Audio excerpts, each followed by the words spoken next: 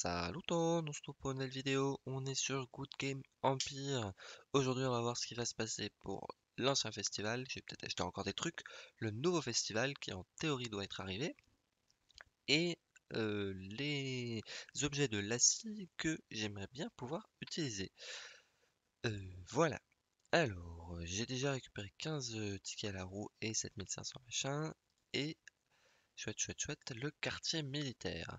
Donc j'ai terminé dans les 50 meilleurs, ça m'a coûté pas mal de tablettes à la fin de l'événement, j'étais à 4000 quelque chose points et je me suis débrouillé pour monter à peu près jusqu'à 8000, sachant que à 7000 j'étais encore hors du top 50. Donc euh, je suis j'ai dépensé pas mal de points, un peu plus, histoire d'être euh, largement dans le top 50. Euh, c'était pas gagné d'avance parce que je montais à 5000, j'étais loin du top 50, 6000, encore loin, sachant que j'étais 80, 88e ou un truc comme ça, et que je montais, je montais de 1000 points, je montais de 10 places. Je me disais, oula, j'espère que ça va pas monter trop trop, qu'il va pas falloir que je monte en points trop trop fort. visiblement, ça n'a pas été nécessaire, puisqu'à 8000, c'était bon. Ce qui m'étonne quand même pas mal, c'est que je suis arrivé 25e en montant de 7000 à 8000, je suis passé de 60e à 25e. Voilà. Donc il y a beaucoup de gens qui, comme moi, se sont dit Oh, les récompenses du top 50, c'est tellement génial que on va essayer de les monter le plus possible. Euh, les étrangers sont arrivés. Je n'ai pas sélectionné de difficulté.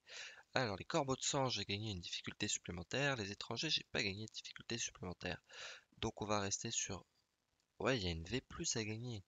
Ce serait chouette d'avoir la V+ euh, sur tous les événements. Comme ça, j'en aurai deux en permanence et pas une seule. Euh, on va se lancer en difficile du coup. Sur ce genre d'événement, euh, corbeau de sang à l'étranger, je vois pas trop l'intérêt de pas être de pas être euh, au niveau de difficulté maximum parce que pour l'instant c'est relativement facile. En revanche les nomades j'ai bien morflé, bah, on l'a vu au dernier épisode. Euh, en attaque c'était pas non plus très très très facile. Je suis repassé dans les 250 premiers. Alors euh, c'est pas ça que je voulais voir. C'était mes dernières attaques nomades. Donc donc donc donc donc. Qu'est-ce que j'ai fait de mes objets mes, matériaux obtenus au lacis Eh bien, j'ai crafté un seul item avec 20% et euh, pour une raison... Donc j'ai longuement hésité entre euh, plus de monde dans la cour, plus de monde... Donc force pour les unités de mêlée, je sais pas pourquoi, je les ai pas... Je les ai pas pris trop en considération.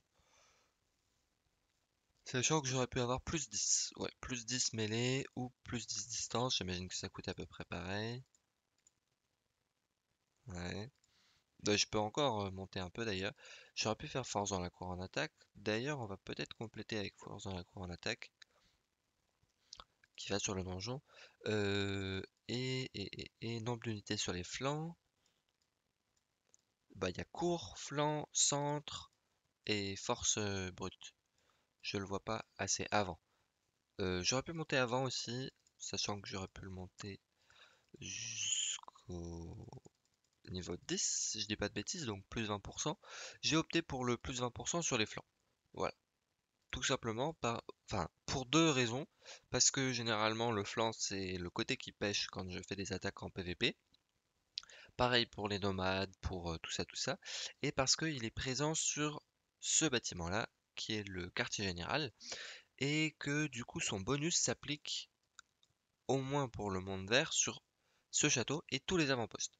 Alors que pour avoir testé l'objet donjon, euh, qui doit être court, si je dis pas de bêtises, les plus de pourcents ne s'appliquent que sur le château qui a le donjon en question. Donc je me dis que même si j'attaque surtout depuis mon avant-poste, là j'ai le bonus euh, depuis n'importe quel avant-poste, mon château, donc c'est plus, plus intéressant. Voilà, voilà. Alors, euh, ancien festival. Oh, c'est la grande fête d'anniversaire, il y a peut-être des choses chouettes. Alors, ancien festival, je pense qu'il va falloir que j'achète des trucs. J'ai pas trop... Ah, en fait, on m'a expliqué que le petit 1 et le petit 2, c'était le nombre de récompenses. Donc en fait, je vais rien louper à acheter un, truc comme ça. Alors, combien de points j'ai déjà?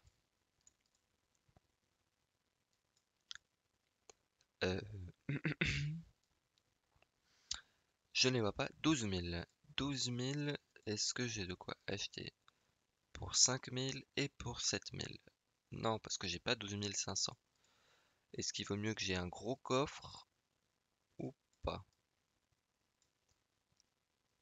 Euh, Je regarde plus au bon endroit, encore une fois. 12 350. Donc, euh, je vais pas avoir assez pour acheter les deux. On va dire que un coffre qui rapporte deux récompenses. Si je peux tomber sur n'importe quoi au-dessus de rare, ça vaut la peine d'avoir deux récompenses. Donc on va le prendre. Et normalement ça coûte une seule clé du coup. Et donc après, j'ai plus 7500. Confirme, il va me le mettre en rouge, oui. Donc euh, qu'est-ce que je vais acheter? Je pourrais acheter des coffres. Après, c'est pas le truc le plus rentable du monde. Tu pourrais acheter des drapeaux. C'est pas non plus le truc le plus rentable du monde. Je pourrais acheter des passe-temps de... pour pas cher, j'ai pas mal de passe-temps. À part les tickets, je trouve pas qu'il y ait des trucs très utiles. Donc pour l'instant, on va s'en passer. Euh, je sais pas si j'ai beaucoup dans un double, donc on va en racheter. J'en utilise beaucoup au nomade en ce moment. Et euh, sur les récompenses rouges, je voulais jeter un coup d'œil un peu différents trucs qu'on pouvait avoir.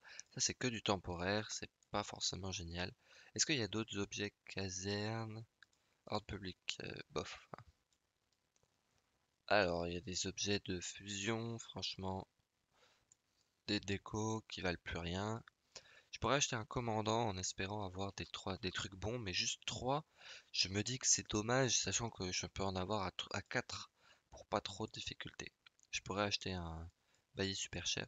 En tout cas, si j'achète des trucs des équipements sur euh, le maître forgeron, j'achèterais des pas très chers dans la mesure où je me dis que je risque de tomber sur des meilleurs et donc ça vaut pas la peine de dépenser 24 euh, 000 euh, pour pouvoir les améliorer. D'ailleurs, on, peut, on peut faire l'expérience. Hein. Hop, c'est pas cher, 2000. Je vais aller faire un peu de place dans mes équipements. Je sais pas si j'ai besoin de faire de la place en gemme, on va en faire aussi au cas où. Pour faire de la place, tant que j'ai pas de trop trop d'équipements euh, bleus, je fais de la place dans les équipements comme ça. Alors, et j'aime. Ok, alors je voulais voir, est-ce que on peut obtenir, sachant que moi ce dont je rêverais le plus un, c'est un commandant, bah non seigneur. Ah c'est un commandant seigneur, mince. Euh... Commandant seigneur qui coûte franchement pas tellement moins cher. Il euh, a pas un commandant PNG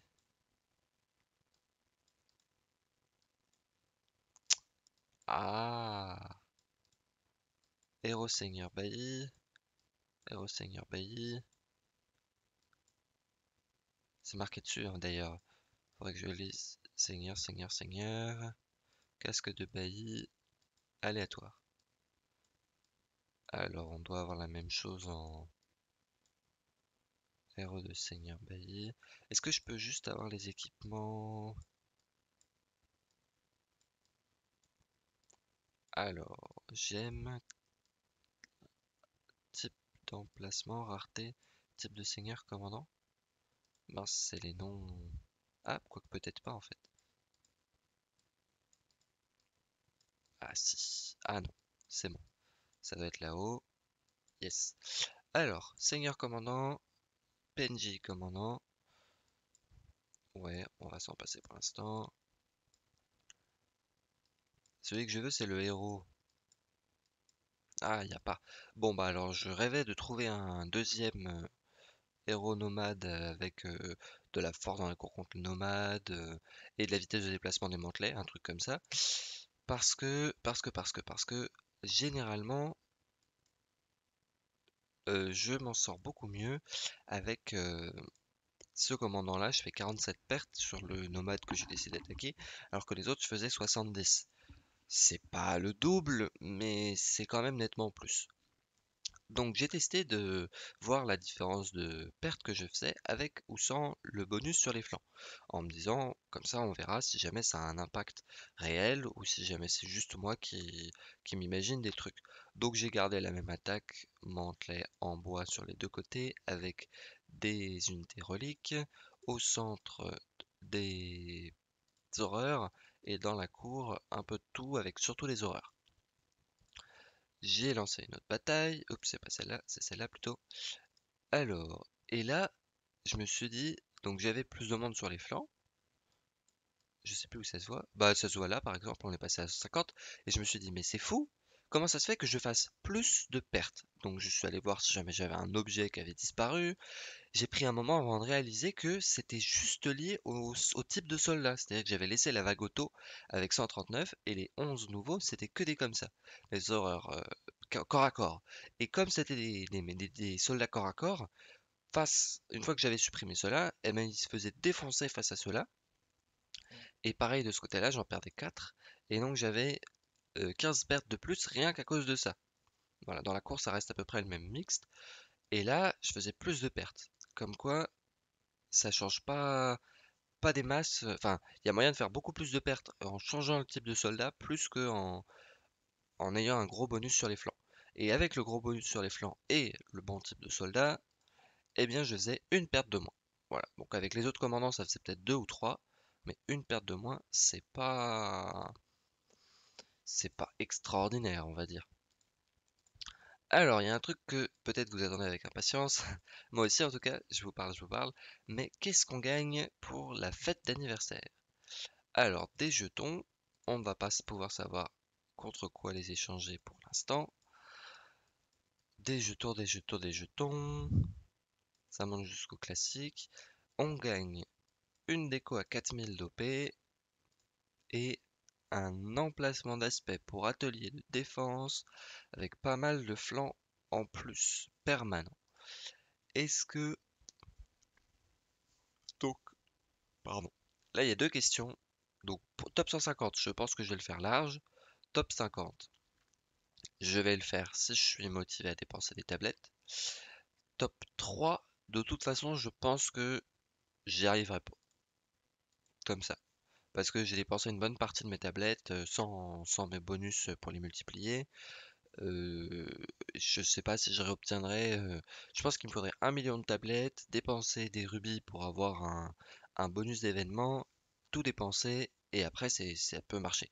Je pense que je l'aurai pas et je pense que ça présente pas un intérêt monstrueux dans la mesure où sur les flancs, sur l'atelier de défense, je mets l'objet contre les cours, si je dis pas de bêtises, l'un des deux. Et donc avoir du monde sur les flancs, c'est dommage que ça coupe euh, l'autre. Je pense qu'on va s'arrêter à la déco, 4000 d'OP c'est pas mal. Euh, je sais pas si j'en ai tant que ça, des décos à 4000 d'OP. Bref, on va sûrement s'arrêter là. Euh, eh bien, on se retrouve pour un prochain épisode. J'espère que celui-ci vous aura plu. On se retrouve pour un prochain épisode très bientôt. D'ici là, portez-vous bien.